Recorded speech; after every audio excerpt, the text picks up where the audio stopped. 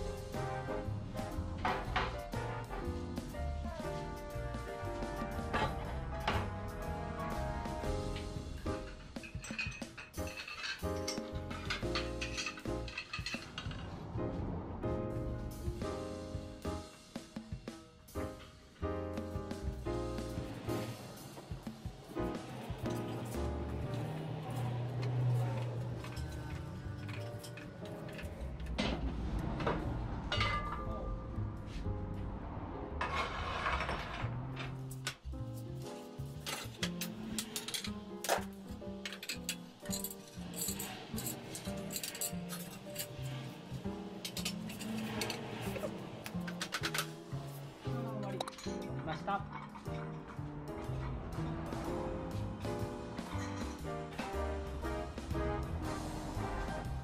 閉めます。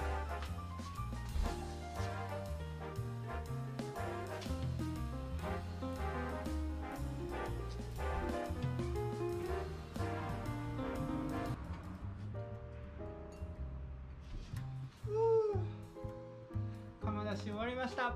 汗びっしょりです。検品と,、えー、と底ずりして綺麗に仕上げて発送準備に取り掛かりたいと思います、まあ、自分の作品以外にもこういった子供たちが作った陶芸教室で作った作品だったり、まあ、今回はちょっと父の器も入ってます。これは来年の干支ですね寅年.